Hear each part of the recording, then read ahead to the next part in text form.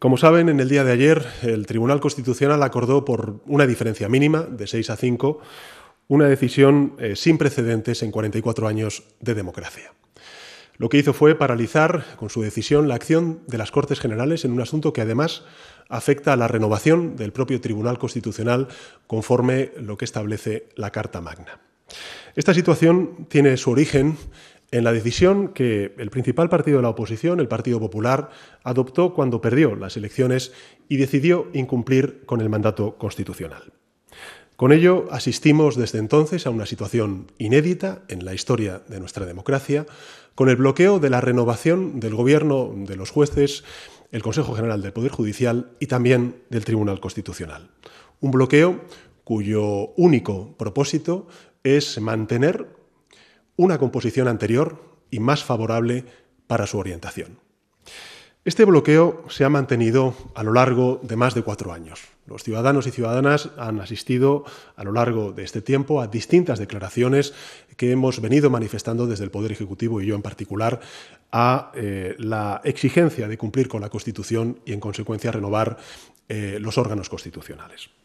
Y lo hemos hecho además eh, con distintas eh, direcciones del Partido Popular, eh, que ha arrojado distintos pretextos, distintas excusas y que refleja exclusivamente el propósito por parte del Partido Popular de, Popular de retener por medios espurios un poder que los ciudadanos no han validado en las urnas.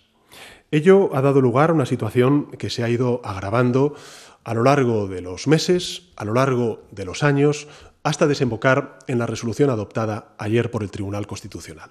Se trata, se ha dicho por parte de distintos actores políticos, de un hecho grave, porque por primera vez se impide a los representantes legítimos democráticamente elegidos por los españoles con su voto que realicen su función de representación de esa voluntad popular, de debate en el Parlamento y de legislación. Y precisamente por eso son hechos que no tienen precedentes en la historia democrática de nuestro país, pero tampoco de ningún país del espacio institucional europeo.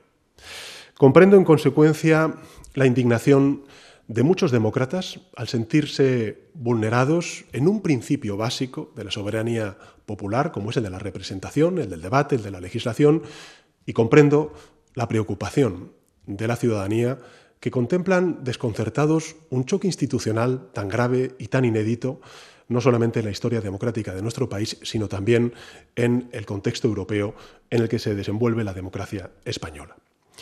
A todos los ciudadanos quiero trasladarles, en nombre del Gobierno de España, un mensaje de serenidad.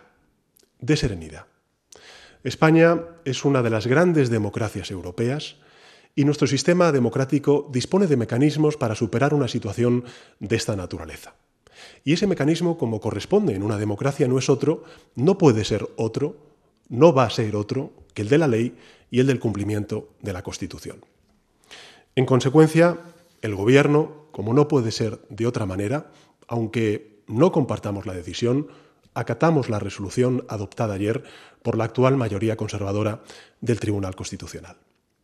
Y también, conforme a la ley, conforme a la Constitución, el Gobierno adoptará cuantas medidas sean precisas para poner fin al injustificable bloqueo del Poder Judicial y del Tribunal Constitucional, y en consecuencia para que sea respetada la Constitución y la voluntad popular expresada en las elecciones generales del año 2019. En momentos de incertidumbre se precisa serenidad y también firmeza.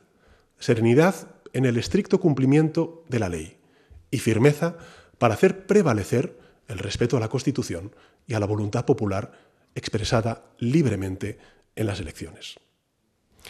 La democracia requiere respeto a la ley, respeto a la voluntad popular de la que deriva la legitimidad de todos los poderes, también del poder judicial, y por eso quiero asegurarles que el Gobierno de España garantizará el estricto cumplimiento de la ley, de la Constitución y el absoluto respeto de la voluntad popular y, en consecuencia, del mandato constitucional.